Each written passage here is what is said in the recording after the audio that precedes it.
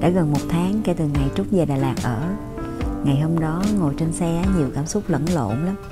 Trúc cứ hỏi, vậy là mình đã xa Sài Gòn thật sao? Thì cũng 30 năm gắn bó, gần nửa đời người rồi còn gì. Biết bao nhiêu kỷ niệm, Nhiều yêu thương chứ cũng đầy thương tổn lắm nghe. Trên chuyến hành trình mới này, Trúc cũng không biết là điều gì ở Đà Lạt sẽ đón đợi mình. Chỉ thấy là bầu trời phía trước hơi đen nè, Và mưa cũng nhiều nữa nhưng lòng Trúc ngay lúc này thật sự rất là mát mẻ. Sáng nay vẫn còn bị ảnh hưởng bởi cơn bão số 1 nên trời mưa dai dẳng lắm. 8 giờ sáng đi chợ mà ướt nhem ướt nhẹp. Thấy mấy à, em hoa hồng được bày bán trên đường nè, Trúc lụm về dài ẻm. Sẵn tiện sắm luôn cái giỏ đi chợ màu vàng tươi nè. Chưa hết nha, còn tậu hẳn một chiếc nón lá cho ra dáng phụ nữ đảm đang nguyên dáng nữa. lúc này thì nắng lên được một chút Trúc ngồi chăm mấy cái hũ gia vị. Bữa trước đi tiệm đồ cũ Mua được mấy cái hũ, cái chén bằng gốm. Trời ơi Trúc mê, Trúc thích đồ gốm lắm. Mỗi lần đến mấy cái cửa hàng bán đồ gốm cũ á, Là y như là lạc vô mê cung. Và kiểu gì thì Trúc cũng phải rinh về dài em cho bằng được. Trúc thấy đựng gia vị trong cái hũ gốm vừa đẹp vừa dễ vệ sinh nữa. Rồi nhìn nó đẹp đẹp cái mình cũng siêng nấu ăn hơn ha. Chăm gia vị xong á, thì trời mưa nữa rồi mọi người. Trúc tranh thủ ăn sáng với ổ bánh mì Chờ coi mưa có tạnh không. Nhưng mà hôm nay á, chắc là phải nấu ăn trong nhà rồi Tại bảo mà. Thử thách hôm nay của Trúc á, là làm món bánh ướt lòng gà. Đây là cái món á, mà lần đầu tiên mà khi đặt chân đến Đà Lạt á, Trúc đã ăn Nhiều năm trước rồi. Hôm nay á, thì để kỷ niệm và cũng như là đánh dấu Đà Lạt Chính là nơi định cư thứ hai của Trúc Nên Trúc sẽ làm món bánh ướt lòng gà nha. Mọi người cùng theo dõi ha.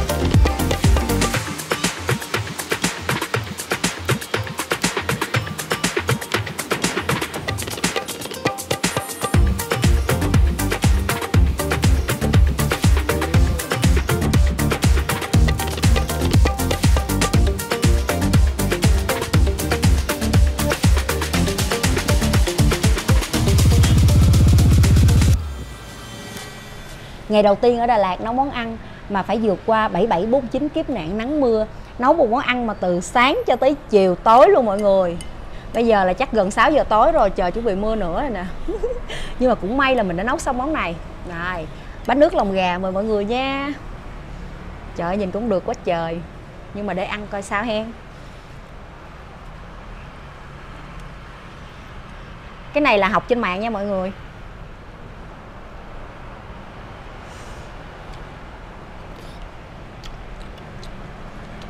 Uhm. cái bánh ngon quá. Giống y như là bánh ướt mình ăn ở hàng quán đó mọi người. Mình không nghĩ là mình làm cái bột như vậy ăn nó ngon vậy đâu. Uhm. được chịu.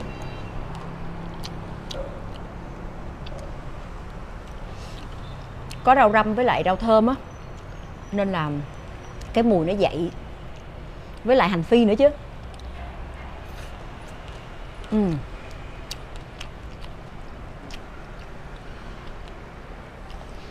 còn cái thịt gà và cái lòng gà đó là mình, kiểu như mình trộn gỏi trước rồi đó mọi người ngon quá ừ. cuối cùng thì mình cũng đã làm được món ăn yêu thích món ăn mà ngày xưa khi lần đầu tiên mình đặt chân đến Đà Lạt, mình đã ăn nó, đó là bánh ướt lòng gà. Bây giờ thử ăn miếng lòng coi nè.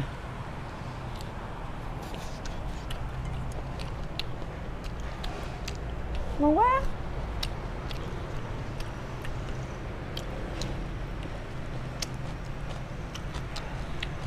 Chút sắc nha.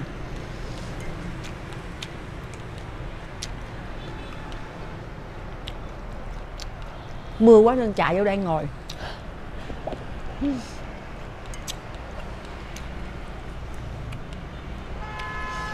Nấu ăn mà chạy đua với thời tiết cũng vui lắm mọi người.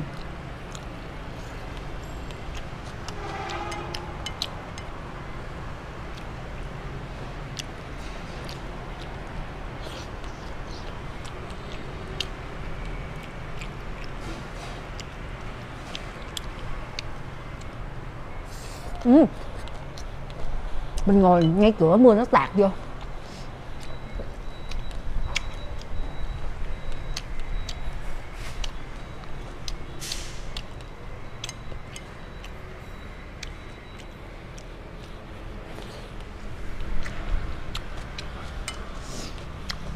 Hồi nãy là định ngồi ngoài trời ăn, thấy ờ, bớt mưa rồi, mừng lắm.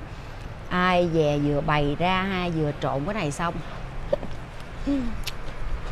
là mưa ào ào tới. Mọi người nhìn mắt kiến chút ướt hết rồi.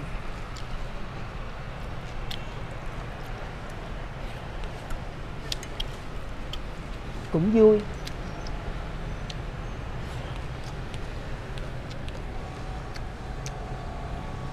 Mình làm món này á, mình định ăn trưa mà giờ thành ra ăn tối luôn rồi giờ vừa ăn tối vừa ngắm mưa.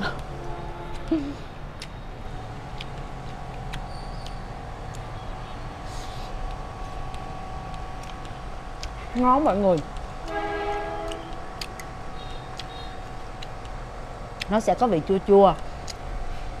Nhưng mà cái độ mặn nó vừa phải. Đặc biệt là cái nước mắm làm thấy ngon nha. Mình cũng mới thử loại nước mắm này đầu tiên á. Chưa nấu um, với cái món gì à? Chưa có dùng nước mắm này à, nấu cái món gì khác hết đó đây là lần đầu tiên um, tại vì á, nếu mọi người nước mắm kho thì dễ ha. Nhưng mà còn nước mắm mà để mọi người pha nước mắm để ăn mấy cái món à, cuốn mấy cái món bánh á, thì nước mắm phải ngon nha.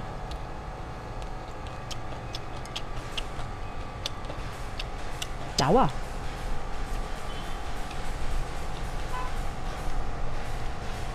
Gió quá gió.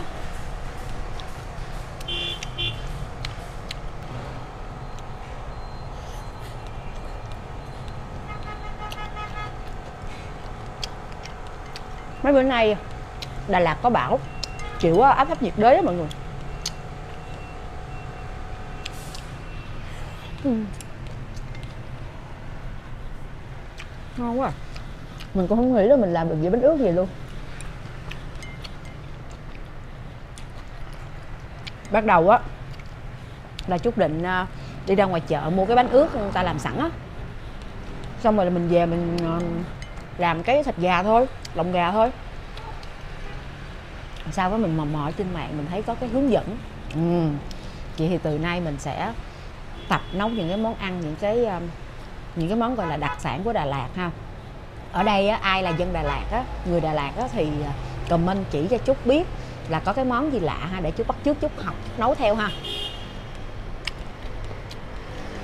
Mọi người cũng um, tập nấu ăn với chút nha.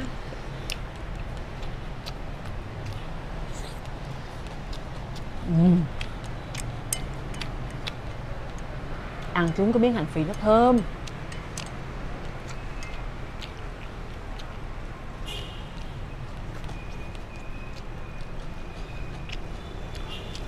Chút đổ um, cho anh ướt đó. Là phần ăn cỡ 4 người.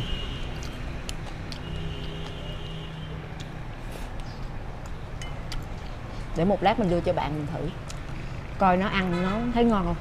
Với lại chị mình nữa.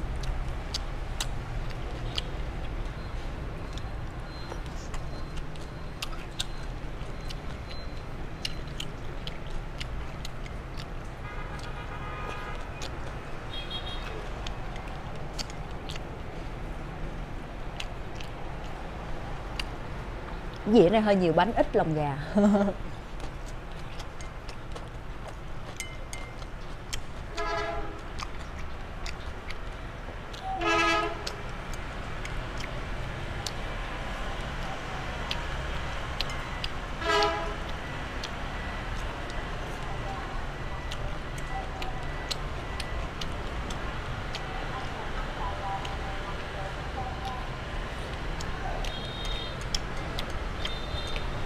lạnh rồi đó uhm. gió nó quá lạnh luôn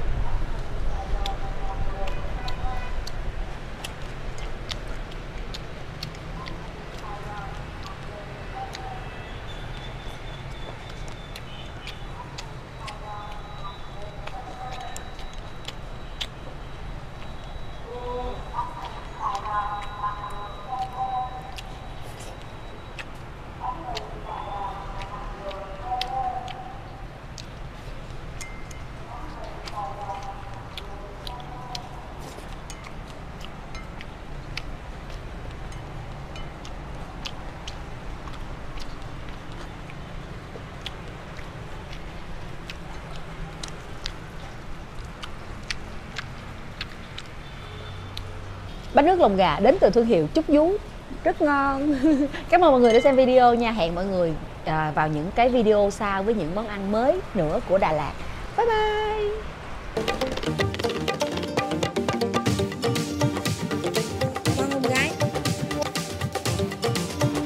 Chui vô cái bàn rồi. Chui vô cái bàn đứng Lan ăn xong để Lan cho ý kiến nha để mình biết rồi lần sau mình à, rút kinh nghiệm nha. Ủa mà ở đây người ta ăn bánh nước là người ta không có chan nước mắm vô hả chị? Tùy thích ăn thích làm gì thì làm. Đúng ăn nha. Hả không đó nè ôm. Rồi thấy sao? Sao nhăn cái vậy? Dở ngon ngon. Ngon ngon mà nhăn cái gì ngon nhưng mà tại người đút không có đút thịt gà có đút thịt gà. À không có đút thịt gà. Ok ok ok. Bù đắp liền bù đắp liền. Rồi. Được mấy điểm nè? Tám rưỡi. Tám điểm rưỡi ok. So với lại bánh ướt lòng gà tăng bạc hổ. Tăng vào ok cảm ơn chị Lan.